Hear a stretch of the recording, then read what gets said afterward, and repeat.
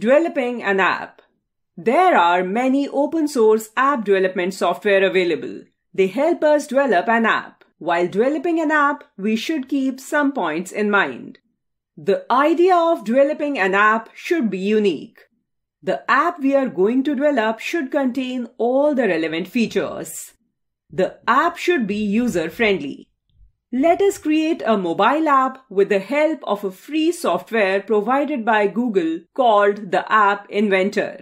With the help of App Inventor, we can create apps. App Inventor App Inventor is a free app development tool provided by Google. With the help of App Inventor, we can create apps for smartphones. The working of App Inventor is similar to Scratch programming language in which we drag and drop blocks for making an app. App Inventor has two basic views. A. The design view. This view contains all the components required to design an application. B. The block editor view. This view is the place where we combine blocks to execute an application. Setting up App Inventor. For setting up the App Inventor, we should have a Gmail account. To create an app using App Inventor, follow the given steps. 1. Type URL https colon double slash appinventor.mit.edu and press the enter key. 2. Click on Create Apps button. 3. Type your Gmail username and password. 4. Click on Next button. 5. Click on I accept the terms and service button. 6. Click on Continue to create an app.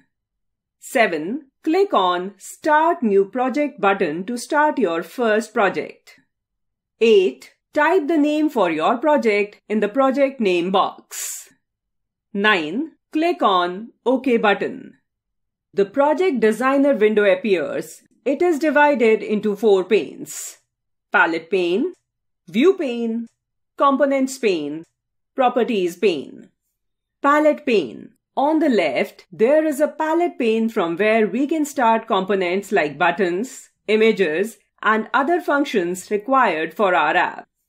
View pane. To the right of the palette is the white area where we can view and arrange added components. Components pane. This pane shows a list of all the components added to the screen in a hierarchical view. Properties pane. When we click on a component in the viewer, we see its properties listed here. Properties of the components can be changed from here. Creating a talking app. In the project designer window, we will design the interface by choosing buttons, images, or text boxes and specify the functionalities of our app. We are going to create a simple talking app by following the given steps. Adding a button. Drag and drop a button from the palette pane to the view pane. Testing the app. App Inventor allows us to test our app while creating. So to test your app, connect your Android device and download MI AI2 Companion. Now follow the given steps. 1. Click on the Connect menu. 2. Click on AI Companion from the drop-down list. 3. Open MIT AI2 Companion on your device and connect by scanning the QR code or typing the code displayed on your screen. Make sure your device and computer are connected to the wireless network to perform these steps. If you do not have any Android device, you can download emulator on your computer which works just like an Android device but works on the computer. The commonly used Android emulators are Android Studio, LD Player, Make Your Own, etc. Rename the button. In the components pane, button is displayed as button 1. You can rename it. To rename a button, follow the given steps. 1. Click on the rename button. 2. Type the new name for the component. In this example, we have given Talking Me. 3. Click on the OK button. App will be visible on connected device. The new name for the button will appear in the component pane, but in the view pane, button still has the name text for button 1 displayed on it. Change the display name of button. To change the display name, follow the given steps. 1. Click on the button in the view pane. 2. Type a new name for button in the text box. In this example, we have changed it to click to talk adding a text to speech component.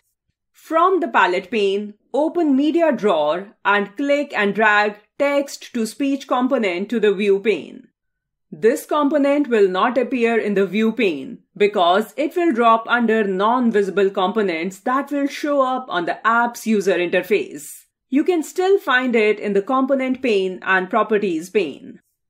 Block editor. This is the place where we code the components added in the design window and instruct them about the actions to be performed by them. Following are the main parts of the block editor.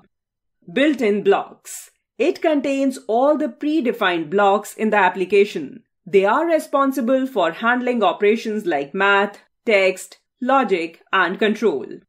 Component blocks. It contains relevant blocks for the components we have added in the design window.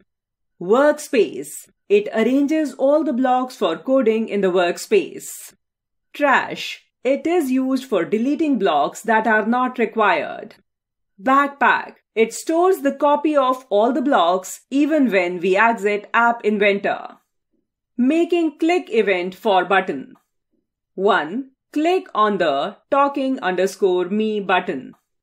2. Drag and drop when talking underscore me. Click do block and drag and drop it to the workspace. This is an event handler block that will handle what happens when the button on your app is clicked.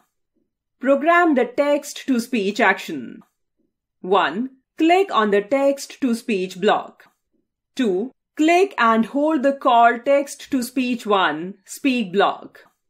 3. Drag it over to the workspace and drop it over the button click block. This block will execute when the button on our app is clicked and make our phone speak. Enter message in the text box. 1. Click on the text component. 2. Drag and drop message block on call text to speech 1 message block. 3. Type the message within the message block. Test your app. To test your app, go to the connected device or emulator and click on the button. Your phone will read the phrase aloud. Keep the volume of your phone or laptop high.